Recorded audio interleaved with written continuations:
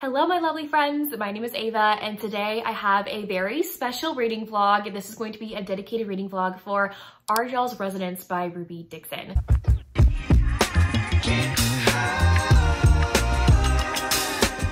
This is her new book in the Ice Planet Clones series. So it's a spin-off series from Ice Planet Barbarians and Ice. So I recommend probably reading this book after you read those two series, but I think you could read this as a standalone. Um, there's like a forward part of this book that talks about um, what you should technically know before this point. I've already read this book, but I'm coming to you now to film an intro for this vlog because I didn't film one before I started reading because I was just so excited to read it. Um, but if you don't know about R'jaal, he is one of the aliens that is a part of the Ice Home Camp, so a part of the IPB spin-off series, the main spin-off series, Ice Home, and he is a part of the Tallhorn clan, which are um, the Sa-khui aliens with really tall horns. if you don't know about IPB, they are blue aliens that live on this planet called Nothoth, and human women have been illegally abducted from Earth and have crash landed on this ice planet, and they are finding their fated mates with these aliens. Ice Home is a spinoff of that, where there's another human camp with different aliens that live on a beach, and R'jaal is one of those men, and he was the last Sa-khui male in Ice Home not to have a mate at the end of that series. And so this is finally his book at the start of a new series. Um, you got a snippet of what was going to happen with him and his love story at the end of Floor's fiasco. Um, so I've been looking forward to this book ever since reading that chapter. So R'jaal has been waiting for his fated mate for quite a long time. You read in Floor's fiasco that he had like some feelings for Floor, like he thought that they would be fated mates, but he never went and pursued her because he's always been waiting for resonance.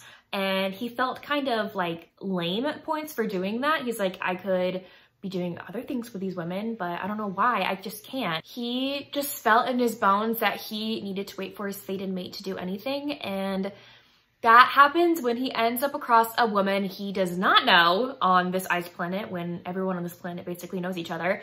And so he's very shocked when he finds a human woman he's never met before in a cave named Rosalind. And that is where I'm going to leave you with. And um, yeah, the next few clips are going to be me reading the book in real time. There are gonna be spoilers in this vlog, by the way. So just forewarning you, if you've not read this book, um, there's gonna be spoilers because I just wanted to gush about this book so much, so. Don't pay attention to the mess behind you. it's Saturday and the weekend is like my cleaning time and it's Saturday morning, so have I had time to clean yet? No. But um, have I had time to read a book? Yes. I have started R'jaal's Resonance by Ruby Dixon and I thought I'd chat with you while I make my classic egg tacos.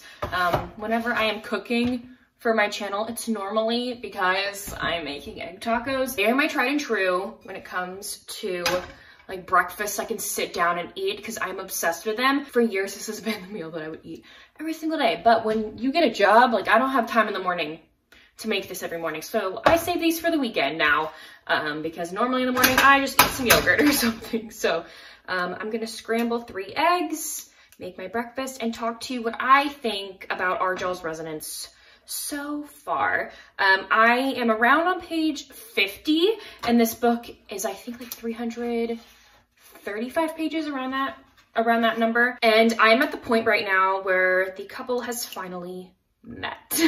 um, also, by the way, if you haven't read any other Ruby books, I think you can start with this book because for the first time ever, Ruby has put a what has been before, like forward of the book to like kind of tell readers like, this is what you should know about this world, this planet, what has happened in the other series that are connected to this one um, before this point, which is new because normally for all of my Ruby Dixon videos, I've had to say like, oh, just by the way, this one's a spinoff of this one, and you have to read this series to read this series, because there's not really a good, I don't know, like bridge to explain the worlds. And so I really like how she put that at the beginning. So if you want to start a new series by Ruby, you could technically start with this one because I think she does a good job at explaining what's happened so far in the other two connected series before you start this one. I wanted to mention the trigger warnings Ruby puts at the beginning of the book in case you wanted to know before the video gets started. But if you haven't read this book yet and you want to know the trigger warnings,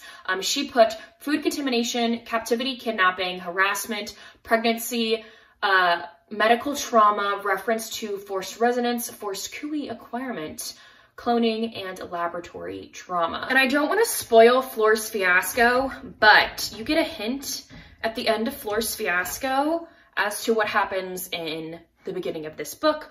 R'jaal in here is one of the last males on the entire planet, alien planet, to not have resonance, to not have a mate and he is kind of glum about it until one day, um, at the beginning of this book, he gets kidnapped by some aliens we did not know were on this planet, and he meets his fated mate, Rosalind. The beginning chapter of this book is in Rosalind's perspective, and she is basically terrified. She wakes up in a coffin, she thinks, and when she opens the coffin, it's just snow and all she has on is a very sheer thin nightgown. And she is like if i don't move i will freeze to death. And there's all these other like coffins around her filled with other people. She's like what do i do? Why are all these coffins here? What is going on? She finds some moss around her decides to take off her nightgown cut her nightgown into strips to make shoes for herself because she doesn't have shoes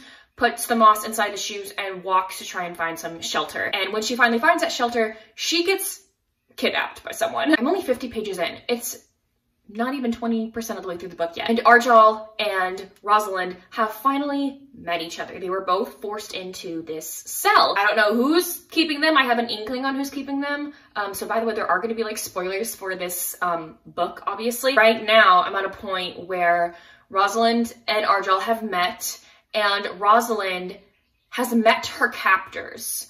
And it seems like they are all put together of the other clans that we've met from the Ice Home series. So you have like Shadowcat, Strong Arm, and um, Tallhorn clans. And so I think they're like the ancestors, like the people who had all of those features. So they had the beard, they had the tall horns, and they had four arms. Um, and so she's describing to R'jaal, like, who captured her, and he's like, that's impossible. Those are what our ancestors looked like. Like, I've met everyone on this planet. Like, that's not possible. So I think by the end of this chapter, there's like a figure coming into the, the frames, and I think he's about to meet said being. I don't know what or who he is. I think this series is titled Ice Planet Clones, so I have an inkling that Rosalind is probably a clone, or these like other aliens, like the ancestor aliens are clones. I have no clue.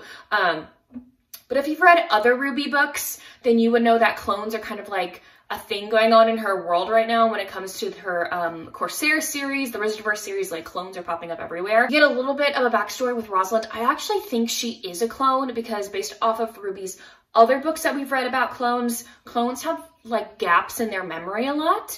Um, since they're cloned from like the original being, their clones have certain parts of their brain instead of the whole brain. Um, because unfortunately, based off of what we learned in Ruby's books, like clones are put together by taking, literally destroying the host, the original person, and like grabbing and putting pieces together um, to make a new one. Like little, like they'll take like a little tiny chunk of brain and make that into a whole person. Like crazy. And so a lot of these clones have gaps in their memory. And if they meet another clone that's cloned from the same person, they have different memories than them, if that makes sense. That's why I really recommend like reading all of Ruby's books because it just makes more sense. You know, so like I probably, I now know that Rosalind is a clone because like I just remembered, oh, those clones had gaps in their memory too. So, and also Ruby's books are just amazing. So you gotta read all of them. Something we've learned about Rosalind from her past life, what she does remember is that she was a librarian on Earth and she wrote fan fiction, which is so cool to me. I love how Ruby, how Ruby put that in there. And I love the scene where they first meet and R'jaal, he's like, oh my gosh, you're my mate. Can I pet you? Like he's wanting to do all these things for her and she's like, who are you? You're creeping me out. And he's like, I'm scaring you? Oh my gosh, no, I'll stop. Let me back up. Like, I'm so sorry. Like, how can I make you more comfortable? And she's just like, is he a creep or not? Because like, he's not actually doing anything to me. Like, it's so funny. These eggs are just about done, so I'm gonna turn it off and then prepare my tortillas. So I use two different tortillas because one's my favorite and I wanna savor it. So um, I love these almond tortillas. Obsessed with them. They are so delicious. And they're huge. Like they're the size of a flour tortilla. I can't eat flour tortillas. If you don't know, I have celiac disease. And so these are amazing. They're huge. I love them because corn tortillas are like this big. So I get one almond flour tortilla and then I get one corn tortilla because almond flour tortillas are expensive, so I try to make them last for as long as possible. So that's why I use two different tortillas. I make two tacos from two different tortillas. And so this is the tiny one, the corn one, look at the difference. and I also learned whenever I, uh, I went to, I think, whenever I went to Florida for like Disney World in like 2021, um, I learned that tortillas are not like common like anywhere else because my go-to breakfast is an egg taco. And so I went to Walmart to go get some tortillas like I normally do here in Texas. And y'all don't have tortillas. Like it was all bread. I only found one one brand of corn tortillas and they were so crappy. so if you want corn tortillas, you have to come to Texas, okay? Just putting that out there. I'm gonna put them on top of each other like this and pop them in the microwave for 30 seconds. As 30 seconds later, they're all heated up. I'm gonna put them off to the side and then put the eggs on the tortillas, obviously. So I have already highlighted two things, so I thought I would share. Um, one of them is when uh, they first meet, she asks him, why am I here? Why are you here? And he responds by saying, you're here because you are mine. Like, yes. And then they're talking, and this is after the point where R'jaal like backs off from being very like affectionate right from the get-go and she's a little scared. And so he's being nice and like offering her warmth because she doesn't have a khui. I forgot to mention that. She doesn't have a khui. And so she's freezing her butt off. so he really wants to give her comfort. She needs warmth. And so he's like, you can share warmth with me. I have a khui. I can keep you warm. And she's like, okay, but no funny business. And he's like, of course not. I would never touch you without your consent. So she asks him, why are you being so nice to me? And he says, because we are in this together. To himself, he says, because you are mine and I've waited for you forever. Like, come on. I love R'jaal. Okay, I'm going to put the rest of my taco together. All I do is add some salt and some cheese and I'm gonna eat it. So I'm gonna go do that. And after that, I'm going to continue reading this book. I'm on chapter 17, so 41% of the way through this book I am obsessed. this is unlike any Ruby book I've ever read. There are so many new things going on in here. I feel like a lot of the time when you read a Ruby book, you kind of know what you're going to be expecting in certain aspects. You know what the culture is going to be like in that series. You know what the creatures are going to be like, the setting. Like, that's what's typical for Rubyverse books, I feel like. Like, it's kind of expected, certain aspects are expected, and that's one of the things I just love about her books is because I love her world and what she's created. And so the things that have happened so far have been so cool. so it turns out right now our couple is in like an underground tunnel system of sorts. It's kind of like, have you watched like The Host by Stephenie Meyer and they all live underground in those caverns? It's like that. That's what I'm picturing in my brain. One of the tribesmen, his name is Setnef, Setnef.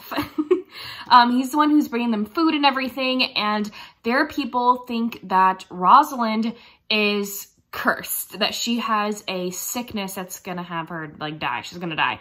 And they think that the sickness is contagious. But the two of them get to know one another, Rosalind and um, R'jaal. They're like leaning on each other in this time of need. And then there's also this gross dude, like an outcast, oop, an outcast from the tribe. His name is Kinfar. Kinfar is like an outcast and he's like leering at her and like wanting her. Like he's gross. He did some not good things to their food. like disgusting. But then Set Neff is like, I've heard from my chief and he wants to kill you basically. So I'm gonna help you escape because I think that's wrong. This guy and his brother are leading R'jaal and um, Rosalind through these tunnels to safety. They're te they're technically going to an oracle. I don't know who or what that is, um, but there's a language barrier because R'jaal and Rosalind understand each other because they have uh, like language chips. But the two like new brothers don't understand them. They can understand what they're saying, but they can't understand what they're saying If that makes sense. Rosalind this whole time is like absolutely frozen. Um, like she has this little strip of clothing that she's wearing. R'jaal has to take off his loincloth to basically give to her to sleep in. So he has no clothes on this entire time. um, and they do some things while they're in their jail cells. So that was nice. that was after this dude saves them and trying to help them escape. And so right now they're leading them through these tunnels and um, as I said before, like it's freezing for her. Your underground tunnels, there's like a a river of lava. So I'm assuming they're living under like one of the big mountains that we know about on the world. And it's actually a volcano. R'jaal's really worried about Rosalind also because she doesn't have a khui. And these men don't understand him when they're like, your mate is dying. Okay, just accept it. She's gonna die. She's sick. And he's like, you don't get it. I need to find her a khui so she doesn't die. And they have no idea what he's talking about. Like it's gibberish basically to them. And so right now I just finished the chapter where he kills this like giant snake creature, bird snake creature in these tunnels and takes the khui out of his heart and puts it into Rosalind and then she blacks out. Things are going. I am loving this. Like it's been such an entertaining read. I can't get enough of it. Okay, I'm on chapter 24 of this book and I'm still enjoying it. That's all, like all I have to say. I'm now 60% of the way through. Right now, Rosalind, R'jaal, and now Tia. Tia has been rescued by them. And then her, I think, soon-to-be mate, who's the son to the main bad chief dude. I don't know. And then three people from the Under the Mountain aliens, I don't know, are now trying to go to the ice home camp. R'jaal just told Rosalind though, like what resonance like actually means and like resonance means that you make the best offspring basically and that's why resonance happens. And she's like catastrophizing that situation so badly right now. She's like, okay, so then you don't like me for me. You like me because the symbiote is telling you to put a baby in me? And she's like not having it. And she's also just lost and confused because she can't remember things because she's a clone, but she doesn't know she's a clone yet. But I know she's a clone. I know it. And then I'm also wondering about all those other people who were dropped off with her. She said when she woke up, there was a bunch of other like coffins around. I'm like, where are those people? Because the, the Under the Mountain volcano people only know of Rosalind and Tia as the two humans. Like, they weren't talking about any other humans, so I don't think they have them. And I'm also just curious about the ancestry and how this Under the Mountain people came to be there. Did they come? I think they came in the same spaceship as the main Sa-khui people, but I think this was an escape pod. And there was the big ship that the Sa-khui tribes are from.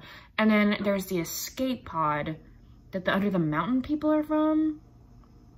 It's a little bit confusing, but I'm not like not liking it. I just want to know more. And then I'm curious how other pairings are gonna go. Cause like what's gonna happen? We I need to know who those other people were that crashed with Rosalind.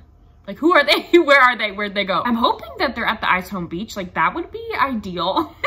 not with some other group of people we don't know about. But they're about to go to the beach, I assume. Right now, Rosalind and Tia are like being buddy-buddy while walking to the camp and Rosalind's kind of avoiding R'jaal because of what she found out about resonance. And so he's not very happy. Um, and he's just confused. He's like, his, he just knows that like all of his life, like your khui picks for you. Like that means that you're in love with that person. Like that is your soulmate and he sees it in like no other way. He's been waiting all of his life for his mate. He hasn't been with any other woman because he's waited for her. I think we're gonna be getting to the beach in this chapter, to the Ice Home Beach. So I'm really excited and I can't wait to see all my other lovely characters. Or are they gonna go to Croatoan? I think it's probably the Ice Home Beach because that's where R'jaal's originally from. Not the island. They can't go to the island. The island is blown up. But um, like the Ice Home Beach is technically his home, and he says he says that he's gonna take Rosalind to his home. So, um, and she's not very happy about with him too because he said that he would take her back to Earth, and he's not gonna do that. like he can't. Hi everyone, I have finished R'jaal's Resonance by Ruby Dixon, and I loved it. I have nothing else to say really other than I loved it. Like it was awesome. I really loved these two characters. I loved Rosalind. I love R'jaal and I love them together and how sweet and cute they were. Like I loved it. There were moments of this book that I was a little confused by because things weren't delved into more. There were new characters, new species of alien, new clones. Like, it was a lot. But in the author's note, you read, like, Ruby's like, you're supposed to be left questioning because I will delve more into it in the later books in the series, which makes sense. I anticipated that. Like, she can't go all in on a new series and know everything about it right from book one. Um, so I look forward to reading the other books in the series whenever they come out. I did not hate Tia in this book, so that's kind of a plus. and even the author's note, I think Ruby was like, I found myself hating Tia less and less while I was writing this. I'm actually kind of looking forward to her book whenever it comes out and with her resonance mate. I can't even pronounce his name. Like these names are getting harder and harder to pronounce. Rosalind in here is dealing a lot with figuring out that she is a clone. Like, what does that mean for her? Is she a real person? She's having these night terrors. And I just really felt for her. Like, she was dealing with a lot. Like, she's learning, like, this is not like the original Rosalind, um, but R'jaal's telling her like, you are a real person. You're a person, you're a being. You're not just a skin of a being. You are entirely a person. Like I would not be resonating to you. You would not be my fated mate if you were not real. Like you're real, you're mine. I love you. Like I love him. He is so sweet. I love a good protective man. Like R'jaal is one of the most protective men ever. I love him. And I don't know what else to say other than I loved this book. I loved it. I can't wait to get into more of the books whenever they come out. I'm going to be vlogging about each book, obviously. I can't wait to learn more about just like what Ruby has in store for this world and what all the different pairings are. I kind of wish that we knew all of the new human women and more and the other alien clones that were like dumped with them um, on this planet. I wish we knew more about them, like even their names. Um, like I didn't know any of the new human women names. Um, like in the actual book, I had to go to like the character pages that are always at the end of Ruby's books, um, especially the IPB books where it like lists all the character names and everything and their mates and stuff. And so I didn't know any of the new human women until I read that part of the book, which is the part I normally skip over because I'm very familiar with Ruby's characters. Um, but because this was a new series, I wanted to see if those names were mentioned and they are. So um, I wish we just got that more in the book. But Ruby wrote in her author's note, like there are just some things she can't delve into in this new world and this new like situation because these books are in first person like Rosalind probably doesn't talk about the other human women because she is a big introvert and is kind of in a precarious situation with her emotions as though she doesn't want to meet all the clones. And so it makes sense why we don't know them because we have not been introduced to them through Rosalind's point of view. And R'jaal doesn't really care about these human women like Rosalind is his woman. Like he doesn't want to meet all these other women. um, so it makes sense why we didn't get introduced to them. Like it makes sense. Like everything's in first person point of view. The way these two were together with exploring their resonance, I thought was beautiful. Like I love those scenes and just like R'jaal, like learning about Rosalind and Rosalind learning about R'jaal. Like A plus, A plus plus plus for me. I think I'm gonna leave it there. I've gushed about this book quite a lot. Um, let me know what you thought about this book in the comment section down below because I would love to know. Let me know any of your theories and what you thought of this book. Um, and if you don't feel like commenting any of those things, you can leave me any purple emoji in the comment section down below. But anyways, thank y'all so, so much for watching. I will see y'all soon in my next one. Bye y'all.